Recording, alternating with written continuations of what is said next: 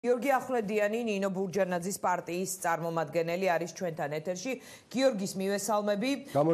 რა საჭირო იყო, თქვათ, რამდენად აუცილებელი იყო თქვენი პარტიის ლიდერის ვიზიტი მოსკოვში, მაშინ, როდესაც ის არის ჩართული მოლაპარაკების მოლაპარაკების პროცესში და აი ამ პროცესის მედიატორები არის არიან ამერიკის შეერთებული შტატების საელჩო და ევროკავშირის წარმომადგენლობა საქართველოსში და ასევე ოპოზიციასთან ერთად არის აი მგვალი მაგიდის მონაწილე, მათ შორის საპროტესტო პროცესის მონაწილე და გუშინ სწორედ ხელისუფლების მხრიდან ისმოდა განცხადებები, რომ აი ვენეციის მაგივრად კრემლში დადიან და ასე შემდეგ. ანუ პროცესის დისკრედიტაციაში წაეხმარა თუ არა ხელისუფლებას ვიზიტი მოსკოვში. კიდევ ერთხელ გამარჯობა დიან და მივესალმები მაყურებელს. მადლობა მოწვევისთვის. არაფერ კავშირში არ არის ბუნებრივია კაპიტონინო ბურჯენაძის ვიზიტი მოსკოვში და ის პროცესები რომელიც თბილისში ვითარდება საარჩევნო სისტემასთან დაკავშირებით. და იმასაც ვიტყვი რომ საარჩევნო სისტემასთან დაკავშირებით ბრძოლა არანაირად არ არის დასავლური ორგანიზაციების და ჩვენი დასავლელი პარტნიორების ორგანიზებული. ეს არის თემა რომელიც 15 წელიწადია საქართველოში ძალიან აქტუალურია და იმის შემდეგ რაც გააკეთა ქართულმა უცნებამ მოცემული საარჩევნო სისტემა რომ წაართვა ხალხს ხელიდან გამწვავდა ვითარება ამ თემასთან დაკავშირებით და გამწვავა აბსოლუტურად ყველა ოპოზიციურმა პოლიტიკურმა პარტიამ და ახალგაზრდებმაც. მართალია ახალგაზრდების ცდილობენ რაღაცნაირად თავისი ახალგაზრდული ემოციით და ჟინით გაგვიცხადა რომ გერმანული მოდელიც მათი მოფიქრებულია და პროპორციულიც მაგრამ ამ ბრძოლაში ჩაერთვა აბსოლუტურად ყველა ვინც თulis რომ საარჩევნო სისტემა უნდა იყოს სამართლიანი. არაფერ კავშირში ამასთან არ არის კალბატონი ნინოს ვიზიტი მოსკოვში. იმიტომ რომ ეს ვიზიტი დაგეგმილი არის გარკვეული პერიოდით ადრე, შესაბამისად, არავისთან ანგარიშვალდებული არავინ არ არის ჩვენს პარტიაში და მისი თავმჯდომარე უპირველეს ყოვლისა რომ ვიღაცასთან შეათანხმოს ძალიან მნიშვნელოვანი საკითხები, რომელსაც ჩვენ თulit ჩვენი ქვეყნისათვის სასიცოცხლო და აუცილებელი და ამიტომაც მიუხედავად იმისა რომ არ ვართ არაფერში ამ ვალდებული ვინმე რამე შეუთანხმოთ მიუხედავად ამისა წასვლის წინ ქალბატონვანინომ აი იმ ფორმატში სადაც საარჩევნო სისტემაზე მხოლოდ და მხოლოდ მიდის მსჯელობა ინფორმაცია მიაწოდა კოლეგებს და მათ მათმა ნაციომა აუცილებელი იყო ანუ დაგეგმილი რა სისახავდა მიზნა შეგიძლიათ გითხრათ აუცილებელი იყო და რა რატომ იყო აუცილებელი და რა შეიძლება ხელშესახები მოიტანოს ამ ვიზიტმა? ამ დეტალებზე მაპატიედია და უბრალოდ აი ამ დეტალებზე ეხლა ვერ ვისაუბრებ იმიტომ რომ უბრალოდ ეხლა დღესაც გუშინაც მიმდინარეობს მოლაპარაკებების შეხვედრები და მხოლოდ მას შემდეგ რაც ხალბატონინო დაბრუნდება მოსკოვიდან დეტალურად ყველაზე მნიშვნელოვანი საინტერესო საზოგადოებისათვის საინტერესო რაც იქნება და რომელი შეხვედრაც იქნება აი წარმოსაჩენად იმას დეტალურად თვითონ მოყვება.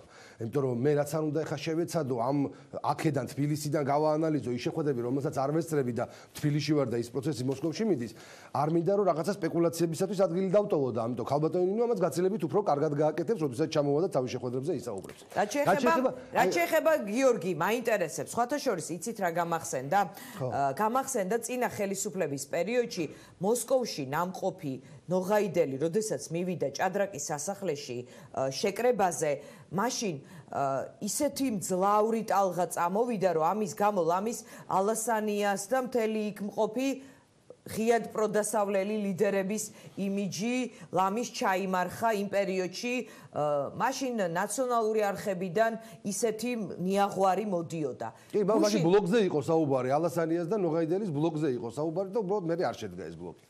ხო, არ ვიცი, თუ თავარი იყო ბლოკ ბლოკზე არ იყო ის მივიდა როგორც რაღაც მოკავშირედ ჭადრაკის სასახლეში მოსკოვში ნამყოფი ზურაბ ნოღაიდელი ეს საკმარისი იყო ამისთვის. გუშინ ხელისუფლება ქირქილით, იუმორით, სარკაზმით საუბრობდა, რომ აი ვენეციის მაგივრად ეხლა კრემლში დადიხართ, რომ მოსკოვს უთანხმებთ, ალბათ გერმანული მოდელის ჩამოსატანად ამ პერიოდში მიეცით თუ არა ხელისუფლებას აი ამ ფორმატის დისკრედიტაციის საშუალება ნაწილობრივ მაინც, როდესაც მოსკოვში გაფრინდა თქვენი პარტიის ლიდერი. არა, ხელისუფლება ყველანაირად ეხა ბუნებრივია ცდილობს, იმიტომ რომ ეხა ამ შემთხვევაში მის მის ხელშია და მის მხარეს არ არის მორალური უპირატესობა ამ არსებულ საკითხთან და პრობლემებთან დაკავშირებით.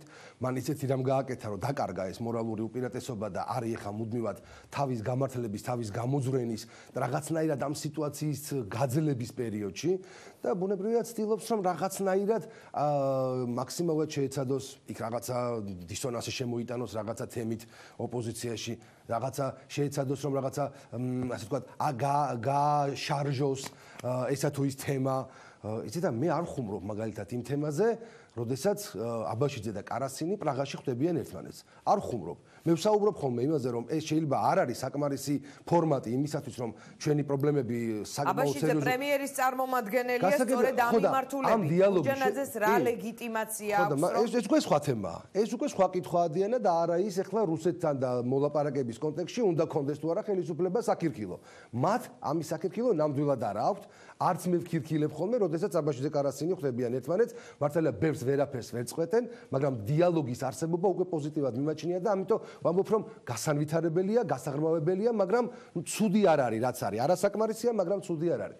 ეხლა რაც შეეხება იმას, რომ დიახ, ქაბატონი ნინო იქიდან რამე ხელშეკრულებას გაფორმებულ სახელმწიფო სახელით ვერ ჩამოიტანს. ბუნებრივია, იმიტომ რომ ის არის ოპოზიციური პარტიის ლიდერი და არა მაგალითად პრემიერ-მინისტრი.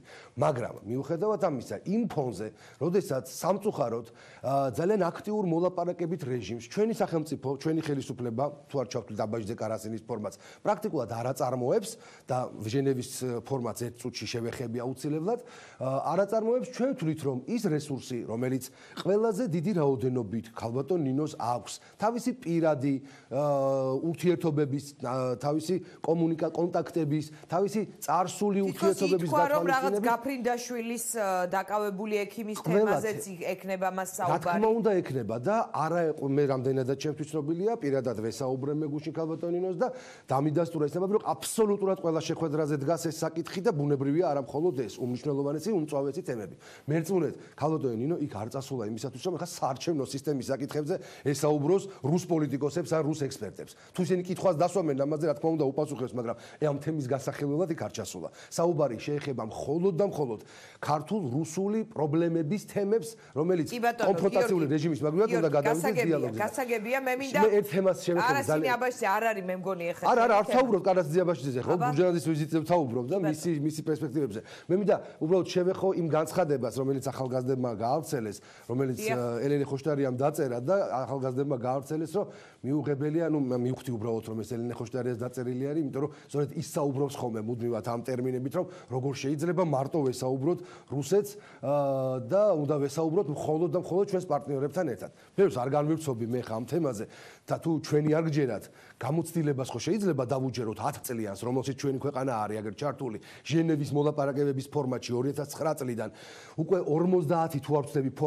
რაუნდი ჩატარდა წელიწადში 5 რაუნდი ტარდება და ვხედავ ჩვენს მეგობრებთან პარტნიორებთან ერთად იქ აფხაზები და ოსების ხედან თავის პარტნიორ რუსებთან ერთად ამ მოლაპარაკების მაგიდაზე და ერთი საკითხი ამ 10 წლის განმავლობაში დიანა აი ერთი ოდნავ მაინც მნიშვნელოვანი საკითხი. ფიჩხზე დაკავებული ადამიანი რომელიც იზოლატორში აღმოჩნდა ოკუპირებულ ტერიტორიაზე ვერ გავათავისუფლეთ მაგ ფორმატით.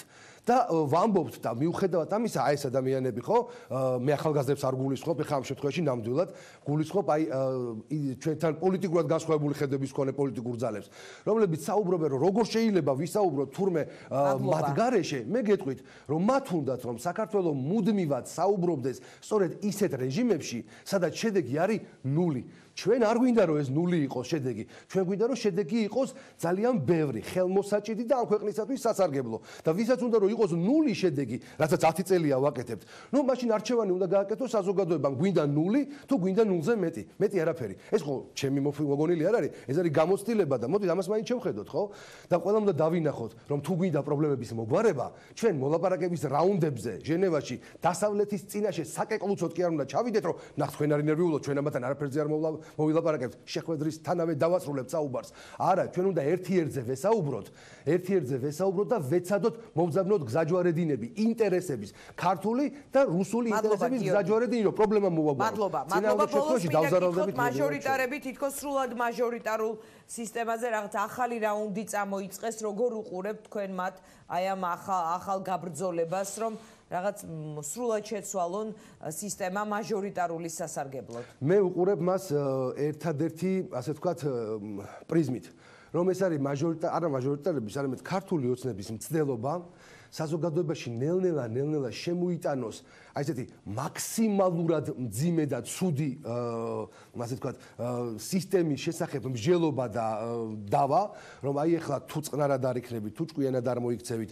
თუ არ დათანხმდებით ეხლა აი ამ შერეულ მაჟორიტარულ სისტემას ხო რომელიც აქამდე გვაქვს და კი არის უსამართლო მაგრამ თუ არ დათანხმდებით ამას მაშინ იქამდე მივა საქმე რომ თლიანად მაჟორიტარულ სისტემას შემოვიღებთ და იმ ზღაპრებით რომ თურმე ამერიკაში ეცე და ბრიტანეთში ესეა. და თავს მოგვახვევენ ზუსტად ორ პარტიულ სისტემას ნაცების და ქოცების რეალურ პოლიტიკურ სისტემას. როგორც ჩანს ხუნდაძეს ოქრიაშვილს გადაწყვეტილი აქვს სწორედ ამ თემის ასე ვთქვათ სპიკერები იყვნენ როგორ გავხადოთ პარლამენტი მხოლოდ ნაცების და ქოცების პარლამენტად. თუ ეს უნდათ უნდა იცოდე რომ ამაში ძალიან დიდი ფასის გადახდა მოუწევთ კიდევ ბევრი პოლიტიკური კონტექსტით. დიდი მადლობა გიორგი ახვლედიანს რეკლამის შემდეგ დავბრუნდებით პირდაპირ ეთერში